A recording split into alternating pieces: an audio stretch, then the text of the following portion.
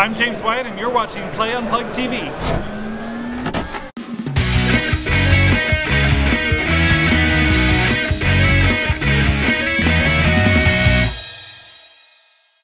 Hey folks, Enrico Nardini from PlayUnplugged.com, and I'm here with Laura Tommervik Yes.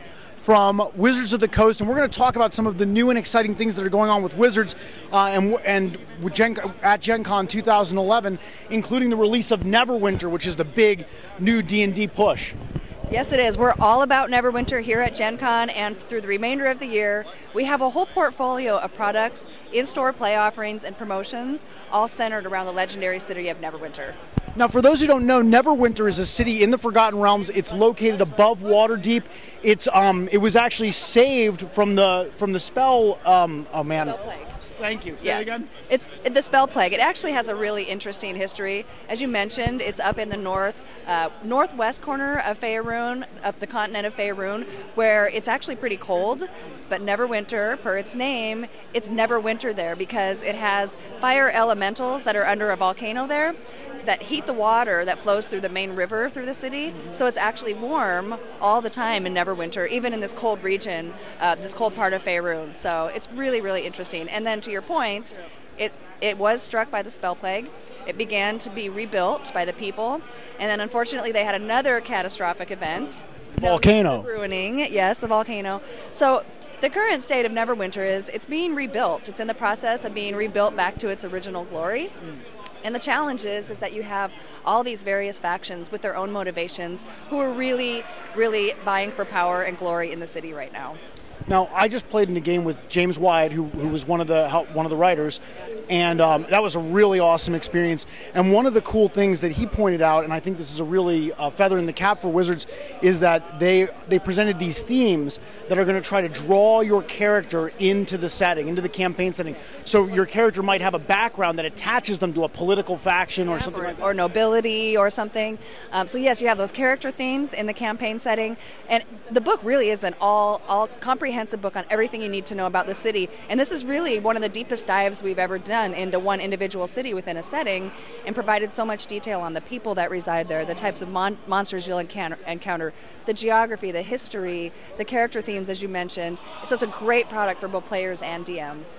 No, it's kind of interesting. So, like, there, there was the Dark Sun release, and that was more global. But then Shadowfell came out, and that was, even though it was in like a whole nother setting in the same way that Dark Sun is, you know, like a whole nother plane, that really was a distillation down into a city. It was because it was really focused on Gloomwrought. In the same way, this is a Faerun setting, but it's not really focused on Faerun the whole. It's focused on this city. Is that um, is that kind of a new direction that you guys are focusing on, like go, trying to get more detailed and smaller? We're definitely focusing a lot on story, and what our goal is to provide. What our goal is is to provide shared experiences for all D and D fans, or even fa- any fantasy enthusiasts, really using story as that connective tissue. So yes, we're taking a deep dive into a specific location, and then providing multiple ways for people to experience it on multiple platforms and in multiple product categories. So if you look at Neverwinter, we have a whole suite of products that all really plug into that story and, and tell in their own individual way, so that regardless of how you want to participate, there's a way for you to do that, whether it's RPG gameplay, board gameplay, comic books, novels, there's digital offerings. There's really something for everybody, in store play programs as well. Uh, you know, you just gave me a great segue. Um, Neverwinter at the is going is also now it's the, the, the old the um the Shadowfell uh, in-store play events just ended and we're transitioning into Neverwinter. And uh, James Wyatt had said there's going to be a much stronger focus in the adventures on uh, on the role playing aspect versus um, uh, more combat encounters uh, version of the game. Um, how how did Wizards make that transition? Well, it's a subtle shift. Um, you know, we all, we do have the themes with the Neverwinter campaign setting, so that naturally sort of encourages people to think more about, you know, the role and the the, the hero that they're playing. Um, so yeah, we are seeing that, and, and to your point, um, the encounter season is shifting from the Dark Legacy of Evard. I'm glad that you are aware of that, and we're possibly playing. Um, we do shift into our new uh, Lost Crown of Neverwinter encounter season that starts on August 10th. Um, in fact, we have a game day happening this weekend on August 6th here at Gen Con and in stores across the country. People can actually take their characters from the game day that's running this weekend and use that character in the new encounter season. So we have great continuity there as well, and I think it's fun for people to be able to, to take their character and move with them into a new program. Yeah, and I, I think that's I, I, think it really is. It's one of those things that like makes you it, you get you invested in the game because that person becomes you know it becomes an avatar of you. Absolutely, you've put more time and energy and thought into it, and, and there's more meaning for you. Of course, people can just jump in too. There are tons of pre-gens they can jump right in. That's the beauty of the D&D Encounters program. It's for players of all level. Um, if you don't have the time to roll up a, a character, you know, prior to, to dropping in on a retail location, or you're brand new, not a problem. You can get a pre-generated character. Um, that program runs on every Wednesday night in the in the locations that are participating. So the beauty of it is, you know, there's going to be a community of players waiting for you. Um, you don't have to play every single week. You can, you know, drop in and out. There is a big overarching story, uh, but you can complete, you know, that self-contained encounter on one Wednesday night if you like, if you're if you have some time constraints. Now, also with the in-store events, for those of the more tactically minded, I, I, when I was at D&D XP 2011, they had mentioned this, and, and, at that point it wasn't named, and I know it's named now, but I, it's it's it's popped out of my it's head. Named. But there is an actual a super tactical encounter version of the of the game that's going on. Do you want to yes. talk about that for a minute? Absolutely. That's also associated with our big uh, Neverwinter um, portfolio. Is we have a new program that's starting in September. It's called Lair Assault. That's right. D&D Lair Assault, and as the name probably indicates, it is highly tactical, highly challenging. This is going to be one of those great programs for players that like to really min-max their characters, that like to strategize, you know, going into it, like to work very closely with their adventuring party to figure out, you know, what their strategy is going to be. Um, it's going to have a slightly more adversarial role between the DMs and players than what you'll find in encounters, which I think people are really looking forward to. Um, we think people are going to want to play the challenges multiple times because they may not fare so well the first time and you know maybe go back and strategize with their group. And we're also highly recommending that people uh, look at using those fortune cards uh, the neverwinter fortune cards in the lair assault challenge because we think they're going to need them. Yeah i've heard that uh, that you know i mean this is an encounter where you're going in with all your stuff. You've got your action point you've got your dailies and so it's you know they're designed knowing that you're going in with all that power. So Absolutely. it's it's pretty serious it's very serious that's that's pretty awesome um, also D&D's made recently, you know, within the within within the last year, year and a half, they, this they've done a lot of these board games, and like for example, Castle Ravenloft is a phenomenal board game. Um, where where do you see Wizards going with that? Is that going to continue past the uh, Legend of Drizzt? So, board games are definitely a current initiative of ours. We've seen a fantastic response to the board games, um, which is so exciting for us. We, our goal is to provide new ways for people to engage with the brand. And the board games, I think, have been so well, well received because they have a feel of RPG play, all self contained in this box. Um, which is a, a, great way to experience D&D. There's some familiarity there with RPG play, um, and it's a cooperative experience, which is so unique. Um, basically, these board games are part of our adventure system games. Um, as you mentioned, there was Castle Ravenloft, Wrath of Ashardalon, Legend of Drizzt is coming out in October. It contains some scenarios based in Neverwinter. And yes, it is our plan to continue to do board games, and um, we love providing new ways for people to experience the brand.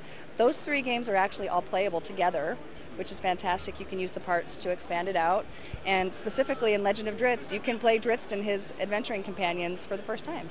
And, and you can swap those characters out, right? With any of the any you could you could play modular. you could play Drizzt in the Wrath of Ashardalon. Tiles, it's it's modular, but it's it's a great um, cooperative system um, where people are working with their adventuring party to solve whatever you know challenge that they're tasked with. That sounds awesome. That sounds totally great. Yeah. Um, and also another board game, uh, Conquest of Nerath. Now this is a totally different focus. So un- unlike giving a board game D and D experience, this is actually more like a tabletop war game board game, like a almost like a like a, any of the big conquest war games. Uh, you you think like Risk, things like that. It is. It's more of a territory management game. Um, fantastic gameplay experience. And again, that is about providing new ways for people to engage with the brand. It's a little bit different play style, as you mentioned, and it's giving people those options. You know, whether they're D&D players that also like those types of board games, or if they're, you know, people maybe new to D&D who also enjoy that style of play, and now they're experiencing it in the Dungeons and Dragons world. Sounds awesome. Um, now, Dark Sun, Shadowfell, into Neverwinter. Are we going to be taking any trips back to those other settings? You're going to have to wait and see. Uh, we've got lots of exciting things planned for next year. I think what you can look forward to is seeing uh, the way that we have all the continuity between all the product offerings now and story with Neverwinter. You know, our goal is to be able to provide that going forward so that, again, people have those shared experiences through the story. Um, speaking of story, there's a big part of our Neverwinter campaign we haven't discussed yet, which are the novels. Oh yeah, go ahead. We've got some, as I'm sure many of your viewers know, uh, R.A. Salvatore is a New York Times bestselling author, and the second book in his Neverwinter saga comes out this October. It's called Neverwinter. It's a continuation of the trilogy that launched with Gauntlgrym last year. And the exciting part is that this will be the first time that the legendary character Drizzt will be adventuring in the city of Neverwinter. So we're really excited about that. R.A. Salvatore is here at Gen Con um, playing, playing the Legend of Drizzt and doing book signings. So it's just a, a fantastic part, uh, very, very fantastic part of our portfolio. I think that'll probably excite a lot of readers because there isn't really a character more iconically, you know, there are very few characters more iconically linked now with the Dungeon Dragons brand than Drizzt. Than Drizzt. This is true. And people will also be able to experience Drizzt through a comic miniseries that R.A. Salvatore has co written with his son Geno um, in a new uh, comic miniseries that's coming out in August called The Legend of Drizzt Neverwinter Tales.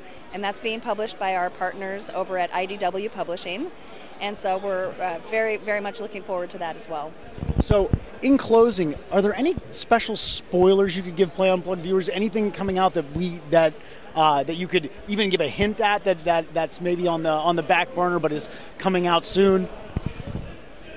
I think maybe just keep your eye open um, at early next year when we start talking about what our focus is going to be. Again, it will be a big campaign like this one, and I think that it, it will be focused on a, a, subject matter that I think a lot of people are very interested in, and I don't want to spoil any more than that. Well, you've, now you've got now you've whet my appetite. I know that's what I'm here for. Laura, thank you so much for the interview. Thank it was wonderful. A lot of great information. Thank you very much. Enjoy the show. You too.